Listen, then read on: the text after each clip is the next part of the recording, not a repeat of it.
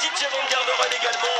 Et on va tomber maintenant le maillot jaune, parrainé par Axel de Christopher Froome, qui est au 400 mètres. Et le est de nouveau arrêté Christopher Froome.